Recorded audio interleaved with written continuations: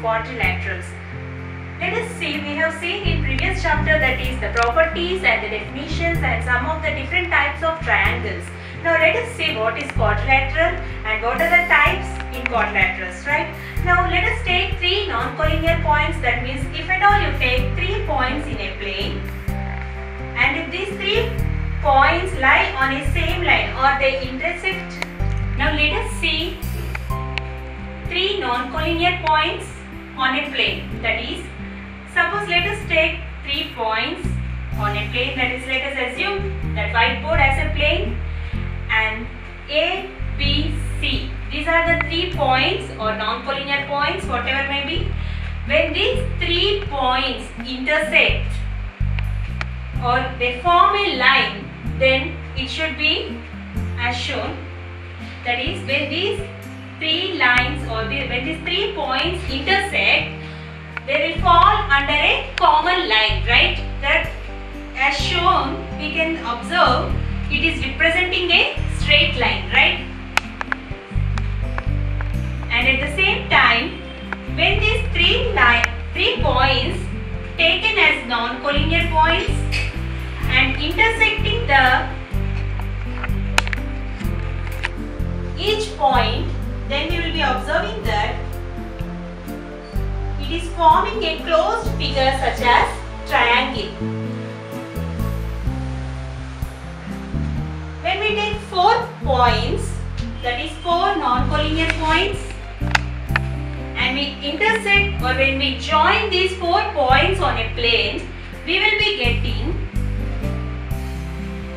a closed figure of four sides right now we can see this is none other than the quadrilateral. That is quadrilateral.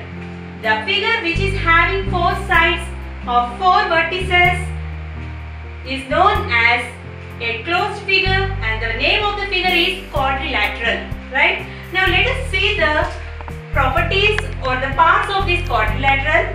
The quadrilateral consists of four edges that is A, B, C, D that is four points or four vertices and AC, AB, BD, CD are the sides of the quadrilateral and A angle, B angle, C angle, D angle. All these angles are four angles and these four angles are related to that particular quadrilateral, right? Now let us see different types of quadrilaterals that is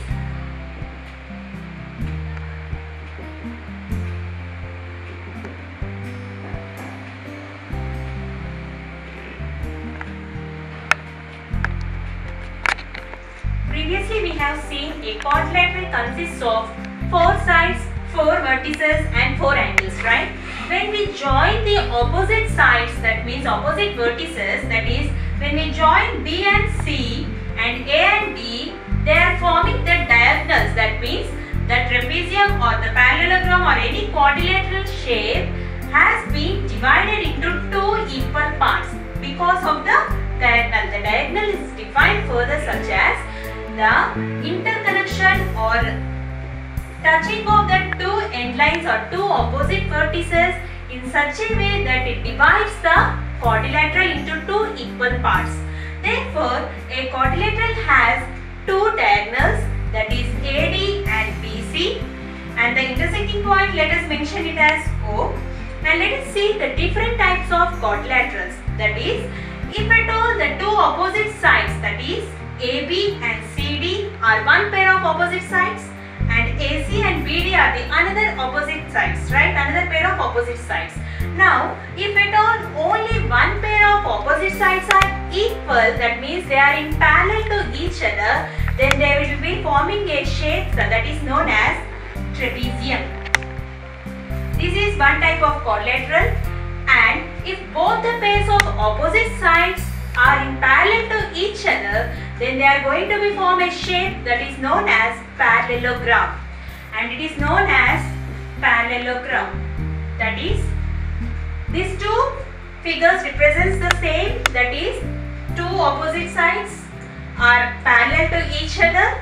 Therefore but you have to see the difference between these two shapes. That is here the angle is less than 90 degrees. The angle made by C is less than 90 degrees.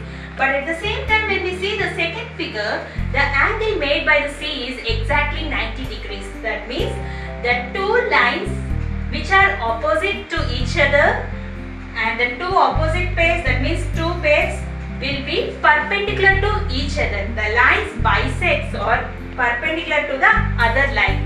That means BD is perpendicular to CD that means it bisects that is exactly at 90 degrees we will be saying perpendicular means therefore the angles in this shape is 90 degrees that is angle A, angle B, angle C and angle D equals to 90 degrees actually these are represented as the name parallelogram but we have defined another name that is for the shape which consists of all the angles equals to 90 degrees as rectangle, right? When the angles are equal and when the opposite sides are parallel, then we will be saying that shape as rectangle. But previously I have said that when angles are not equal and when the sides only of opposite sides are parallel to each other, then the shape will be known as parallelogram. And we have only two types of quadrilaterals we will be dealing in this class that is trapezium and parallelogram. Now let us see the proof for I am saying or I am stratifying that the angles or the sum of the angles in a trapezium is 360 degrees. Let us see how it will be true, right? Let us see the proof now. For sum of the angles in a quadrilateral is 360 degrees. Let us assume that or let us divide this quadrilateral into two equal parts by the help of the diagonal A and D. Right? Now I am drawing the same figure. Can observe it clearly. We are dividing this trapezium ABCD into two equal parts with the help of the diagonal passing through A and D. Now, we will, we will be seeing that the ABD and ACD are these two are the two triangles right and the sum of the angles in a triangle is 180 degrees as I have previously said in triangles chapter. Therefore let us see that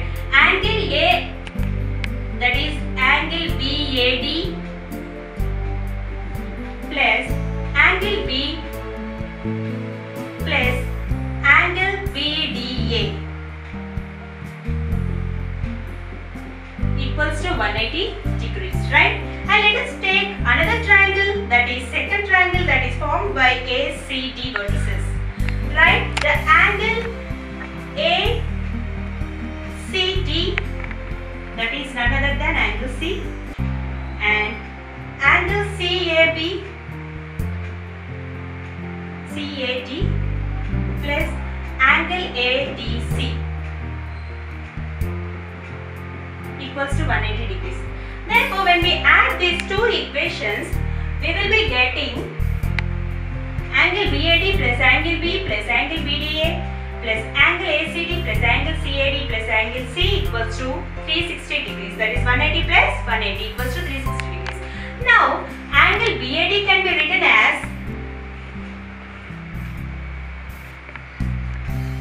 angle CAB that is